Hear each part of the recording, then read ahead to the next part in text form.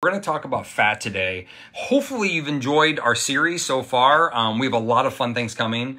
Um, I was actually just on a, a, call with a lady. She's down 70 pounds and plateaued for almost three months. And so she's in this frustrated part. She's really low carb ish, keto ish kind of place. And I was explaining to her a few things that could be missing, and that kind of comes to what we're going to talk about today. So, um, and we'll talk about plateaus. I'll do I'll do some specials on plateaus. Uh, plateaus are actually can be a really good thing if you look at it from the right angle. Um, they actually become super awesome. As sometimes the best we can learn is from a plateau, and so uh, but that's also a time when people tend to make the choices that moves them in the wrong direction. So, but with that said and done, we're going to talk about fat today. Um, don't be afraid of fat. And so about 1950, just before, there was a, a, big fat lie came out from Ancel Keys where they did this huge test and said that fat causes cholesterol problems. Well, it actually is not true. Um, it's a variable, but it's it's really not the case. Uh, there's all these other factors that are, are that are definitely in there. So um, the big fat lie shows that, and and so I encourage people to think through this. But when you go through, um, when you go through oops, sorry, got a little sidetracked. When you start thinking about bad fat, good fat, um, when you're going low carb and you're cutting down on carbohydrates, you're maybe cutting down on certain foods, you got to keep this in mind is that fat is the filler between. And so meaning that if you're if you cut all of this carbs out and you're cutting calories and your and your protein level maybe even went down a little bit, um, you still have to have calories. You still have to have energy, and fat has a lot of energy in it. Now, I will talk about the types of fat in a second, but what you really want to consider is the I always tell people the first step is to go low carb first because fat and carbs don't mix. You know, what you don't want to do is be high carb and high fat and high calorie. Like that's going to be a recipe for disaster. So you go low carb first and then you start saying, okay, where can I where can I start being situational on my fat? Maybe it's choosing um, fattier pieces of protein. Why is that beneficial? If I give somebody a chicken breast, they might get 40, 50 grams of protein in, but most often they're not satiated or satisfied. Now, there are certain people that do get more satisfied with chicken breast. I'm not one of them. And we literally throw the breast away in our household now. That's not true. But we all go for the thighs and the legs. We want the fattier pieces. It's more enjoyable. It tends to be more filling because it has more calories in it and it still has a good amount of protein. So ratio, it has more fat and protein in it than, than just the, um, the, the chicken breast, right? Which is low fat and high protein. And so we want to maybe make some of those different choices. Choose your fattier fishes. Choose your and why is because it's more satiating. It's actually less density. So you're eating, you're getting more calories in less space, which means that you're not going to be as bloated. You're not going to be as heavy through the, the midsection because you're overfilling yourself all the time to try to feel, feel satiated. So that's number one. Number two is you can start getting high quality fats from different sources and add it to your vegetables. I like fat on vegetables. It helps the absorption of certain fat soluble vitamins.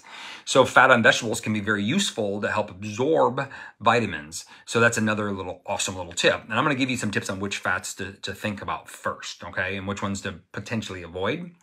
Um, and then number three is if you formulate your diet well and you're really low carb and you're really going keto, you can really go as high fat as you want. Now you will feel very satiated. You're not going to be super hungry, but it's really important. Why I said protein yesterday is that you want you have enough protein in your diet because you want to maintain muscle mass. Um, the the true ketogenic diet that was de- uh, developed back in the 19 early 1900s was it was so high fat and very low low protein, and that was how they did it to keep the ketone levels high enough for these epileptics. So modern day, long term, that may not be optimal. So well formulated means that if you're physically active, you need more protein. We may have to increase the protein a little bit. We may have to increase the fat a little bit.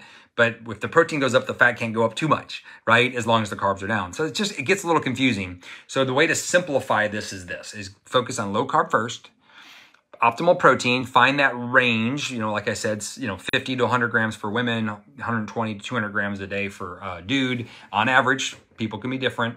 Um, and then what I would say from there is you fill the rest of it with fat. Now, on days that you maybe have carbohydrates, you're going to want to make sure your fat stays a little lower because the fat and carbs don't mix. Don't overthink it, but just keep that in mind. So what I tell people is like I do a lot of chicken thigh with skin on and broccoli and butter right? Am I pounding the butter? No, I'm putting enough to enjoy it. That's all I'm doing. Enough to enjoy it. Am I people are putting fat in their in their coffee and butter in their coffee and they're pounding it. Just put enough to enjoy it.